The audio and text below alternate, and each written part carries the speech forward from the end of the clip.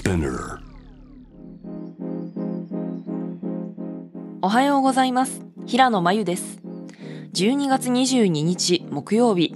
世界で今起きていること。このポッドキャストデイリーブリーフでは、世界で今まさに報じられた最新のニュースをいち早く声でお届けします。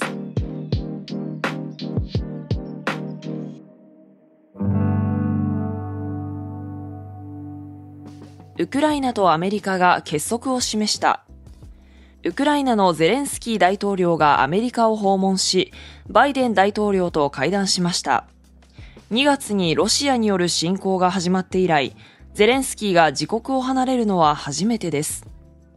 バイデン政権は迎撃ミサイルパトリオットの供与など18億5000万ドル、日本円にしておよそ2450億円の追加軍事支援を表明しました。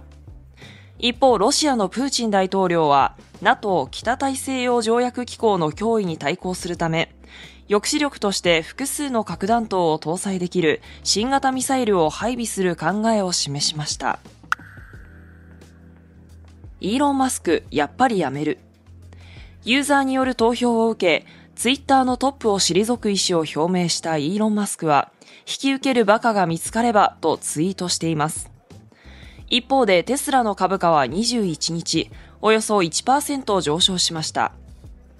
アメリカメディアの中でもテスラ寄りの報道で知られるエレクトレックによると、テスラは2023年1、3月期にもレイオフに踏み切るとされており、新規採用も凍結すると伝えられています。年末年始はネトフリでフィットネス？ネットフリックスではナイキの認定トレーナーによるフィットネスコンテンツの配信がスタートします。第1弾は12月30日が予定されており、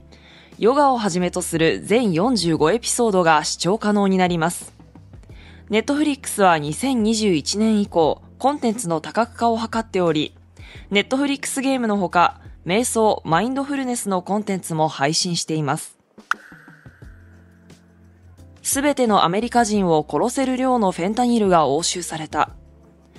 アメリカの麻薬取締局は、2022年に押収された医療用麻薬、フェンタニルの量が3億7900万回以上の致死量に相当すると発表しました。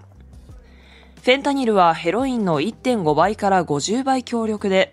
わずか 2mg 程度で致死量になるとされています。メキシコの麻薬カルテルなどによってアメリカに持ち込まれ、乱用が社会問題化しています。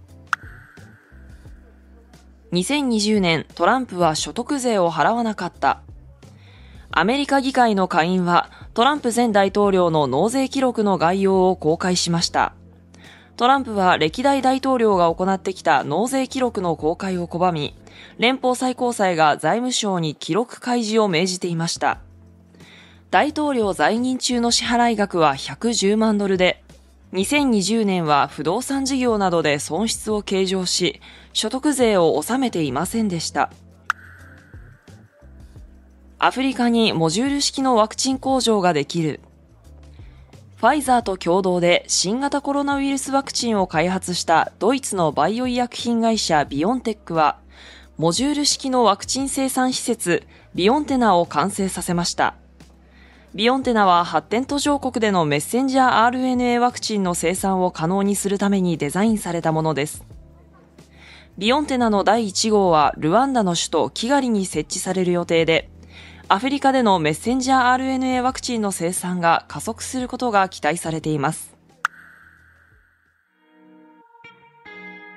今世界で起きているニュースをいち早く受け取りたい方はデイリーブリーフをぜひ Spotify、Apple Podcast、Amazon Music などでフォローしてくださいね。平野真由でした。今日も良い一日を。